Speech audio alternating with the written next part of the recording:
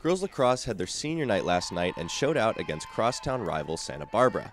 SB scored the first goal, but DP responded and never looked back from there. The team was led by senior Avery Ball's seven goals, as well as senior Lauren Elliott's four goals. Juniors Hannah Martin and Alice Sperling also chipped in, scoring two goals each, as well as Reagan Arnold and Susie Lopez with one apiece. Lauren's nine draw controls contributed to the team's offensive success, as well as the team's combined 23 ground balls.